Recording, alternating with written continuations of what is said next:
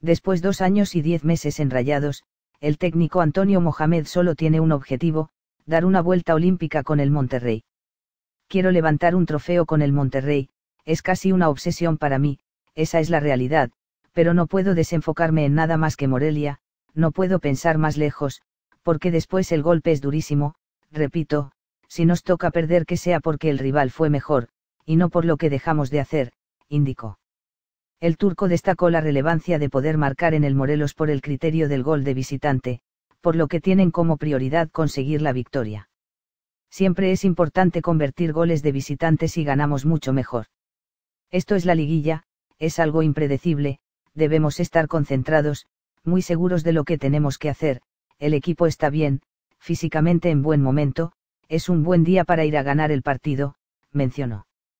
Mohamed ya estuvo cerca de ganar un título con Rayados, pero se quedó a un paso, cuando en la final del Clausura 2016 perdió ante Pachuca en el estadio BBVA Bancamer con un gol de último minuto. Critica criterio de visitante. El técnico de Rayados, criticó el criterio del gol de visitante, al considerar que eso provoca que los equipos locales en los juegos de ida muestren sistemas de juego defensivos, lo que genera poco espectáculo para los aficionados.